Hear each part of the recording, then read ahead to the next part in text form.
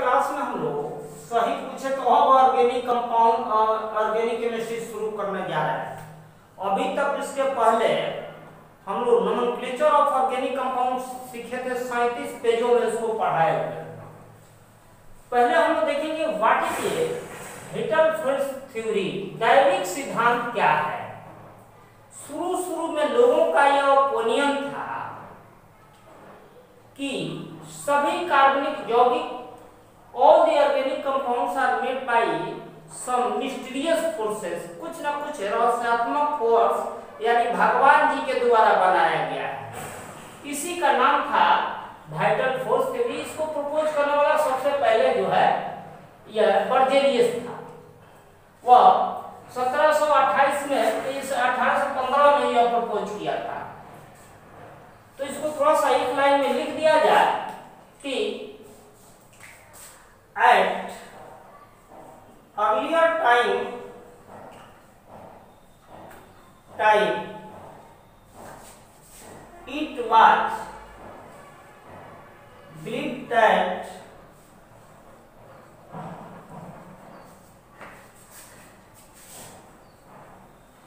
that all the organic compound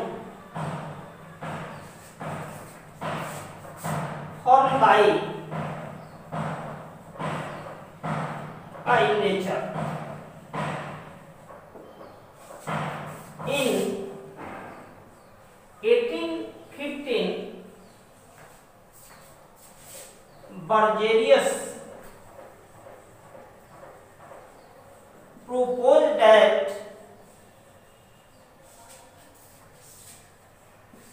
that all the organic compound, all the organic compounds are formed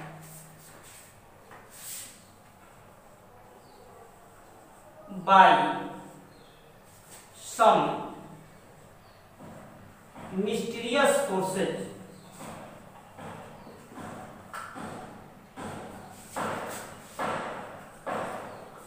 which is called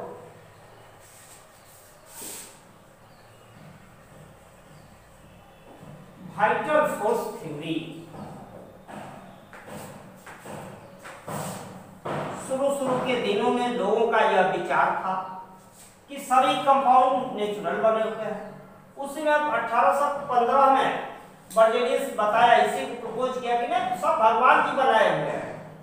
कुछ राष्ट्रात्मक force द्वारा बना हुआ उसका ही नाम रखा गया वाइटल फोर्स थ्योरी लेकिन इसके बाद 1828 में जो है ईस्वी सन कोई लिखना ज़रूरी नहीं है विद्यार्थियों को, हम इलाइट नहीं करते हिस्ट्री पढ़ेगा कि केमिस्ट्री पढ़ेगा।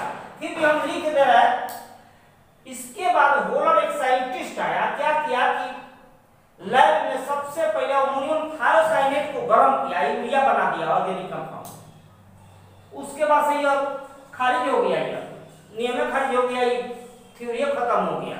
उसके बाद और भी बने, जैसे यह कोलवे बनाया था हम लोग को एसिटिक एसिड बर्थेलोर बनाया था मिथेन और सारे कंपाउंड बहुत बनने लगे थे। उसके बाद जो भगवान जी वाला आज भी हम लोग यहाँ, इसी भ्रम में लोग पड़ जाते हैं। जो न बुझा वो भगवान जी पर छोड़ देते हैं लोग। यहाँ पर इस तरह से लिख देंगे कि in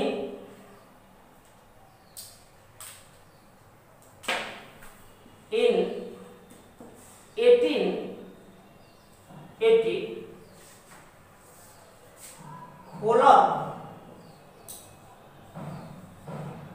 Holland synthesized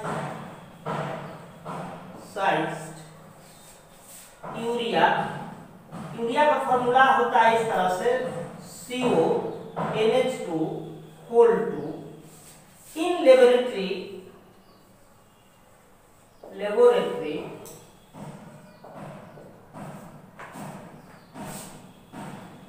लिख दे रहा in laboratory by heating ammonium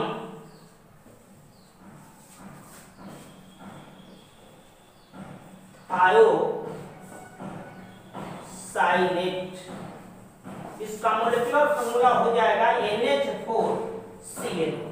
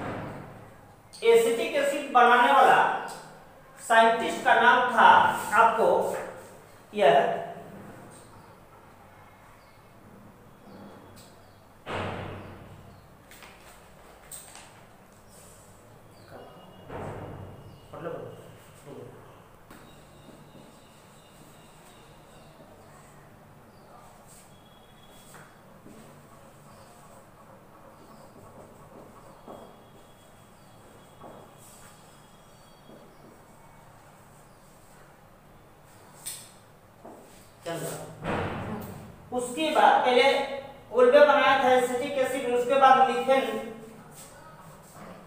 methane, prepared by prepared by Berthelot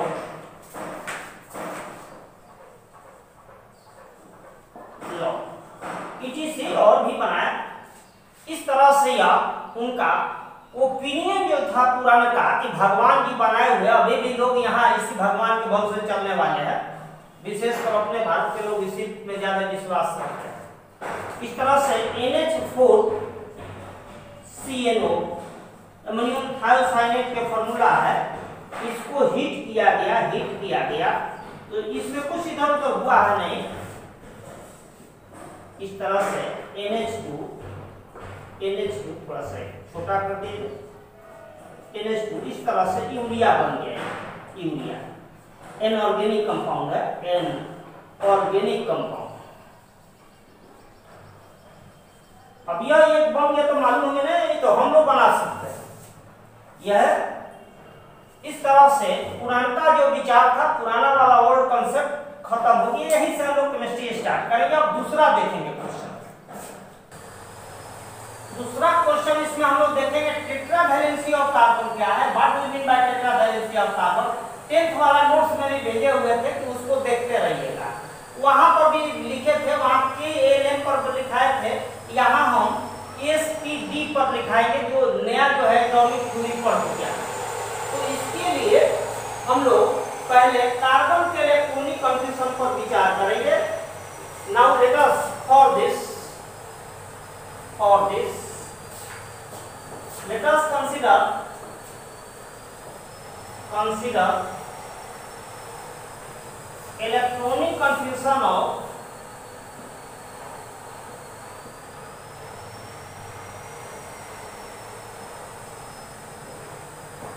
of carbon carbon का electronic confusion C6 1s2 2s2 2p2 होता है यह इलेक्ट्रॉनिक चुका होइएगा या इस तरह से भी लिख सकते हैं 1s2 2s2 2px 2py 2pz यह एटॉमिक स्ट्रक्चर चल रहा होगा, अब विद्यालय में। उसके आधार पर 1 1 0 यह इलेक्ट्रॉनिक कंफ्यूजन कहते हैं ग्राउंड स्टेट कहते हैं ग्राउंड स्टेट सुप्तावस्था मतलब जब एक्साइटेड स्टेट होता है एक्साइटेड स्टेट का मीनिंग होता है कि जब वह किसी से लड़ाई, झगड़ा करने जाए मैंने एक कंपाउंड बनने जाए तो इसमें का एक इलेक्ट्रॉन जंप करता है इसमें two P in excited electron excited excited state one electron electron of 2s orbital 2s orbital jumps to 2pz orbital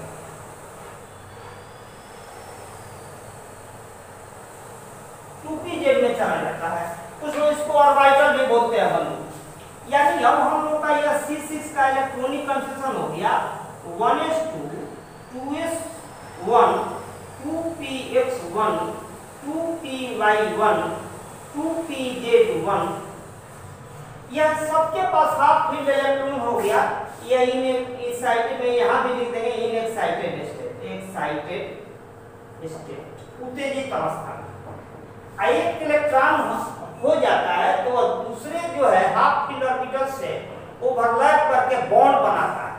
तो इसलिए चार हाइड्रोजन एटम से कंबाइन होकर CH4 बनाता है। Therefore carbon carbon combines with combines with four four H atoms to form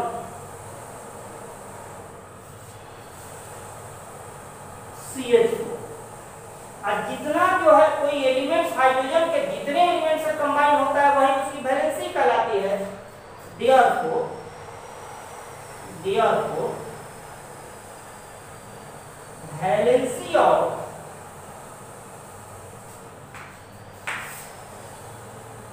carbon will be called which is called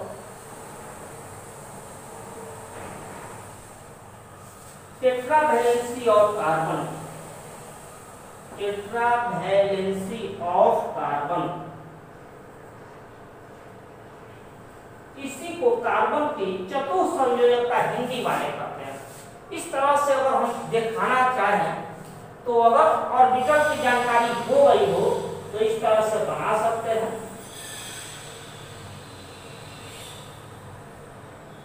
यहाँ पर carbon है कार्बन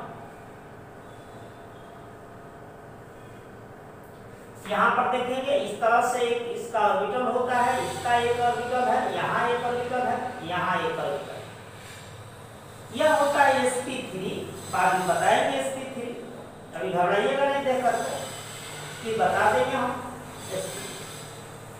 फिर यहाँ पर एक एच होता है, यहाँ पर एच होता है, यहाँ पर एच होता है, यहाँ पर एच होता है। इस तरह से। यह घबराएँगे नहीं। इस तरह से। एच एच एच एच इसी को अभी सिंपल वे में विद्यार्थी इस तरह से बना सकते हैं।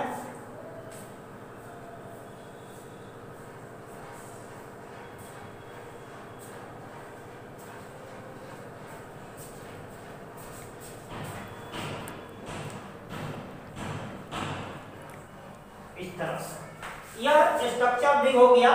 इसके बारे में हम अगले दिन बताएँगे। यह हम लोग का हो गया सी एच फोर का स्ट्रक्चर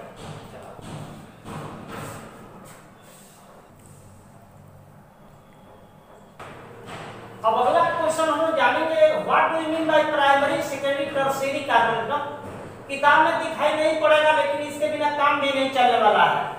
अपने लिख दिया प्राइमरी सेकेंडरी का कंटेंसिया भी पता नहीं है, ध्यान से सुनिए। ये छोड़ देंगे डिफिनेशन पहले देखिए। अभी हमने देखा कि कार्बन की चार वैलेंसी होती है एच एच इस तरह से बनाए थे, चारों वैलेंसी था। इस तरह से। तो अगर इस चार वैलेंसी में से एक जो है कोई ये आर हो जाए अल्काइल ग्रुप हो जाए, या एराइल ग्रुप हो जाए, और यह जो है कोई अलग ग्रुप हो जाए फंक्शनल ग्रुप हो सकता है अलग ग्रुप भी हो सकता है तो इस कार्बन का नाम हो जाएगा, इस, इसको हम लोग कहेंगे प्राइमरी सी इसको वन ज़ीरो से सी किया जाता है प्राइमरी हो जाएगा प्राइमरी प्राइमरी सी एटम यही हो जाएगा। जैसे एग्ज़ाम्पल में अगर हम बनाना चाहें तो बना देंगे अभी सीएल कर देंगे तो प्राइमरी हाइलाइट हो जाएगा ओएच कर देंगे तो प्राइमरी अल्कोहल हो जाएगा। यानी हम इसका डिफिनेशन कैसे बनाएँगे?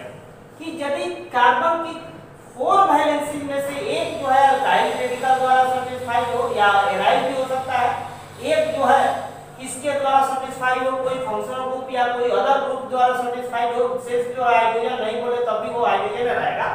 तो इस तरह के कार्बन एटम को हम लोग क्या कहेंगे? प्राइमरी कार्बन एटम कहेंगे। फिर ध्यान से सुनेंगे, हम देख रहे हैं कि if if one valency of C atom from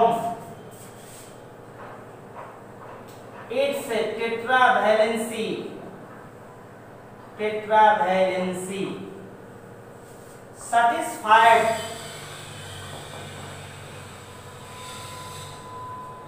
by alkyl और aryl group group and one by other groups other groups means यहाँ फंक्शनल ग्रुप हो सकता है functional group then the carbon atom carbon atom then the carbon atom is called primary C atom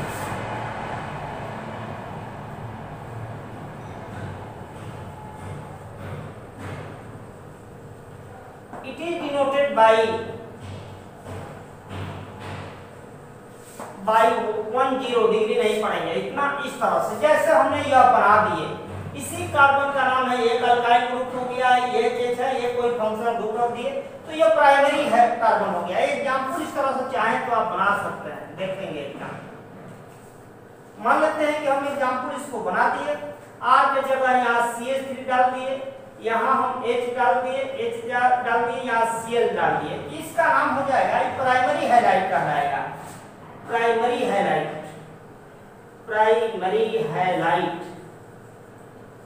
इस तरह से। अगर मान लेते हैं कि हम इसी को CH3 बना दे C2H5 यहाँ बना दे CH3 CH3 H Cl अगर यहाँ OH बना दे रहे हैं हम इस तरह से OH तो इसका नाम हो जाएगा क्योंकि ये प्राइमरी और प्राइमरी कार्बन एटम है, इससे जुड़ा तो इसका नाम हो जाएगा प्राइमरी अल्कोहल प्राइमरी अल्कोहल यानी हम जान गए कि चार कार चार वैलेंसी था, उसमें से एक को ही जो है मिथाइल इथाइल प्रोपाइल, ब्यूटाइल या C C C, H five, कोई ग्रुप इधर जुटा हो फंक्शनल ग्रुप हो तो दो हाइड्रोजन एटम बचा हो तो उसको हम लोग क्या कहते हैं, प्राइमरी कार्बन एटम। अब देखेंगे इसके बाद सेकेंडरी कार्बन एटम।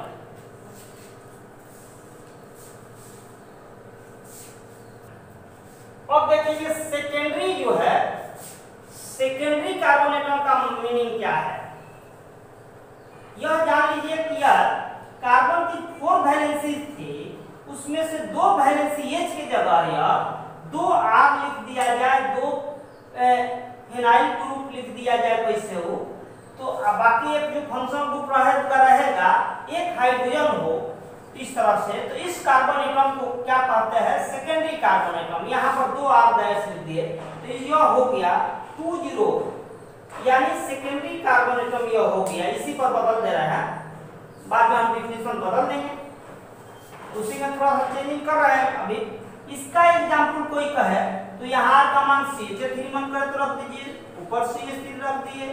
एच रख दिए। यहाँ ओ एच रख दिए। इसका नाम हो गया सेकेंडरी अल्कोहल यह क्या हो गया? सेकेंडरी अल्कोहल एक और एग्जांपल ले लीजिए। मान लेते हैं कि ऐसे लिख दिए CH3 C2H5 लिख सकते हैं। यहाँ C2H5 वगैरह कुछ भी लिख सकते हैं। H Cl लिख दिए तो यह हो गया सेकेंडरी हैलाइट सेकेंडरी हैलाइट हो गया? तो इसका डिफिनेशन क्या बना?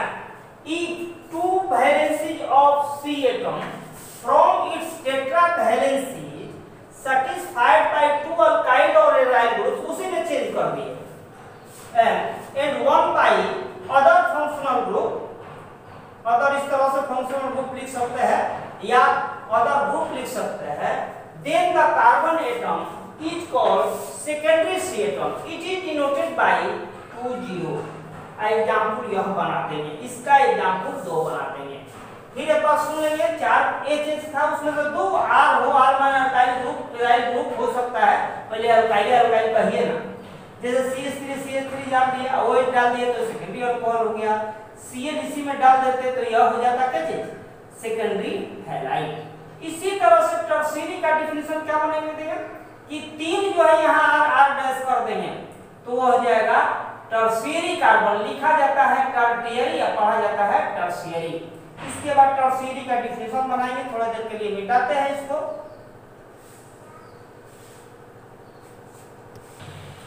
अब टर्शियरी का डिफिनेशन उसी पर बना दिया जाए। If three valencies of carbon atoms यहाँ थ्री एक और यहाँ पर डाल दीजिए। आर डैश ऊपर लिखे हैं तो आर डबल डैश बराबर हो भी हो सकता है, बराबर नहीं भी हो सकता है।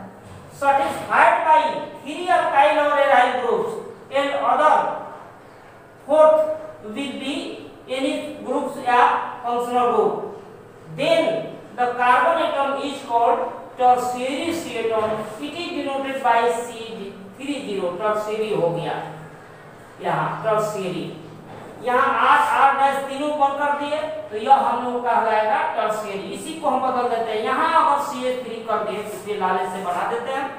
इस तरह से यह सी एच थ्री कर दिए यहाँ पर। तो इस इस इस कंपाउंड का नाम हो जाएगा टर्शियरी अल्कोहल यहाँ बदल देंगे। यह हम लोग का हो जाएगा क्या चीज़? टर्शियरी टर्शियरी एल्कोहल हो गया। इसी तरह से इसमें भी C H three C two H five यहाँ कुछ डाल दिए तो इसका नाम हो जाएगा tertiary halide tertiary halide tertiary halide हो यानी फिर एक बार सुन ले, तीनों को कार्बन की चार वैलेंसी होती थी, उसमें से एक अल्काइल ग्रुप द्वारा रिप्लेस हो जाए, माने एक अल्काइल ग्रुप हो जाए तो प्राइमरी दो अल्काइल ग्रुप हो जाए तो सेकेंडरी तीन हो जाए तो टर्सरी कार्बन एटम हो जाएगा। इसकी आवश्यकता जो है, पूरा केमिस्ट्री जब तक पढ़ते रहेंगे लाइफ भर या प्राइमरी सेकेंडरी टर्सरी आपको आते रहेगा। आज नहीं बुझाएगा तो हरदम आपको सताते रहेगा। आज का क्लास इतना ही पर समाप्त होगा। हुआ, फिर अगले दिन हम लोग हम लोग कुछ अलग चीज़ इसमें देखेंगे।